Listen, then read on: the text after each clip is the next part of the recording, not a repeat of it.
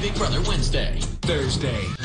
A new Young Sheldon right after a new Big Bang Theory. CBS Thursday.